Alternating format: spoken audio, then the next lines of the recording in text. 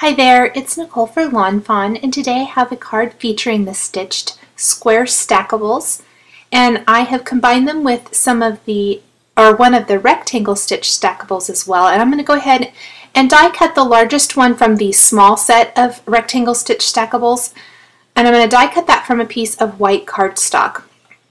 I'll set that aside for a minute, and then I'm going to take some scraps of paper from the uh, Pint Size Patterns Beachside collection from Lawn Fawn. These are the 6x6 papers. And die cut one of these smaller stitched squares from a whole bunch of these papers. I'm going to use nine different designs, all um, ranging from navy blue to the kind of aqua to the lighter blue. I thought I, at first I might throw in some orange there and then I decided not to. I would stick with the blue color scheme, but I'm going to go ahead and die cut a bunch of these squares. One of the things I love about the stitched stackables from Lawn Fawn are how well they mix and match together. So I'm going to be using this square with the rectangle to create my own frame, custom made for my card. So instead of using something that maybe already is all pre-made for me, I can make any number of different window designs, which is what I'm going to do here, and actually have nine windows. So I'm using a T-square ruler to help me simply line up all of these pattern paper squares that I'm going to temporarily adhere to this rectangle using a little adhesive. I'm going to line up my first row really carefully because that's going to allow me to really line up any additional rows um, extremely easily. So I'm going to go ahead and start here with my middle and temporarily adhere that. And I'm really just eyeballing it. I didn't measure it um, much more than using my ruler to hopefully get that first line lined up straight. Then I'm going to take that same die and place it over the square. That's going to allow me to really easily die cut these without having to try to figure out where to place it exactly.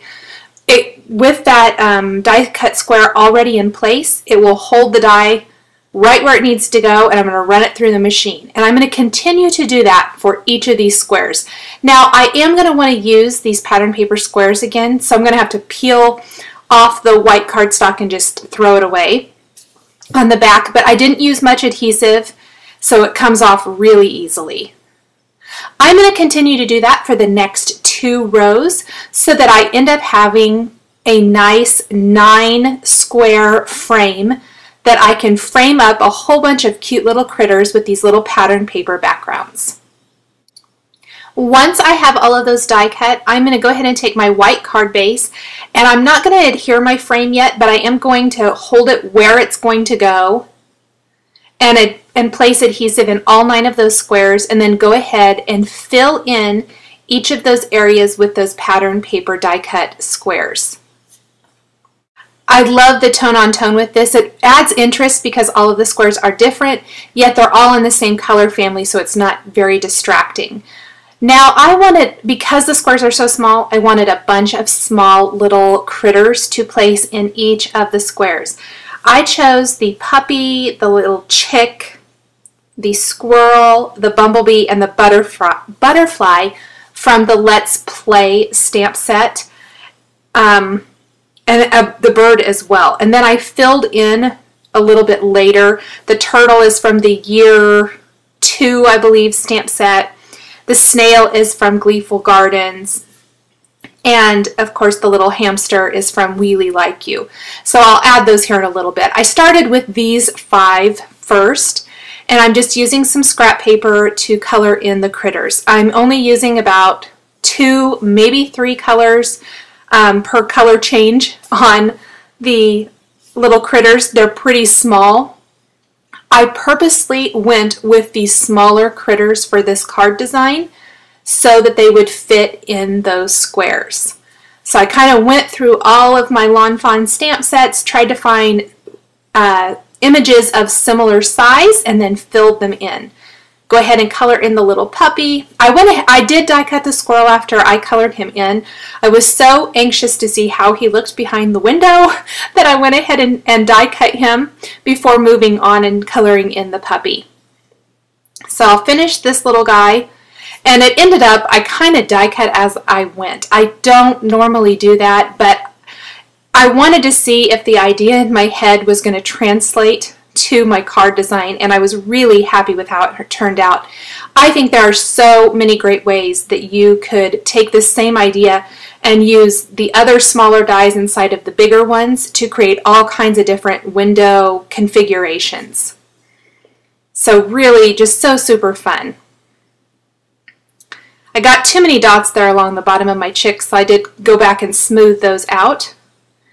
With my turtle, I ended up pulling in a couple more colors so that I kept his body and legs and the base of his shell lighter and then the little designs on his shell darker. I used some of my favorite yellow greens in this uh, for him and just filled him in. I really just went with whatever colors spoke to me for the critters. And because all of the backgrounds are going to be some shade of blue, I tried to keep the critters somewhat colorful. Some of them are, you know, more in the browns and neutrals family, but otherwise I tried to implement some other colors, the aquas, the greens, some yellows, even a little pinkish or pink and red, just to add interest and pops of color to the card. For the bird, I did keep his little tummy area yellow and then colored in the rest of him with aqua. The first color I, I used for the yellow I thought was just a tad too light, so I ended up going in with my little bit darker Y11 and blending that out more to make, make his little tummy area more prominent. Go ahead and cut him out as well. I really did die cut as I went. This is not my usual uh, way of doing it, but like I said, I really was kind of trying to see how all of those little critters were going to work and fit in each of the squares. So I did die cut a lot as I went here. Now, for the antenna for the snail, I originally colored him in pink, but I just thought I I thought it just blended out too much, so I went in with a little cool gray and colored those in and blended it into the head. Got my little bumblebee here. And the fun thing about him is he has that little bumblebee trail that coordinates with that. So here in a little bit, I'm going to stamp that so that it goes from one window to another, creates a little bit of fun movement on the card. This is a really simple card design, but it has lots of little elements included in it, but it's still fairly flat. So this is going to be a great card to send through the mail. This is my last little critter. Go ahead and die cut the butterfly here, or get the die ready, and I'll color in the other little hamster really fast. Only using about a couple colors for, for him and then a little R20 for the cheek. I'll add some detail here in a little bit with for the eyes and the nose. Once I have all of these die cut, I laid them out how I wanted them to go. I'm going to grab one of the greetings from the Let's Play stamp set ink it up with black licorice ink and stamp that right there, kind of off-centered to the right below my window pane. And then I am going to start attaching all of these little critters. And I want them, I don't want them to all be straight on. So the little chick is kind of hanging in from the corner. The puppy's peeking in from kind of diagonally. The squirrel's going to be peeking in diagonally. Here's that little bumblebee trail. I'm going to just pop up the window so that it goes from that center window to the one right next to it to the right. And then I can attach the bumblebee. And then I'll have the little bird standing on the window pane opening and the butterfly flying there in the middle. Here's the squirrel. He's going to be peeking in there from the corner. Have the little hamster running through his frame and then attach the snail coming down the side there. Once I have all the little critters in place, I'm going to go ahead and take some adhesive and glue that frame right in place. I placed a little liquid adhesive around the top and the two sides and then just some regular adhesive along the bottom. And I'm using something heavy to hold that down until the glue dries. The last thing I'm going to do is add additional detail to the images. I'm going to use a black gel pen to color in eyes and noses and the little dots on the butterfly. And then I'm going to take a white gel pen and add some detail to the cheeks and to the little snail and things like that. Plus I'll use the Wink of Stella glitter pen to go over the bumblebee wings. Here's that white gel pen and I think it adds a lot of fun especially to the little snail tail here. Then I'll place it on some of the cheeks on some of the critters. And that is it for this card.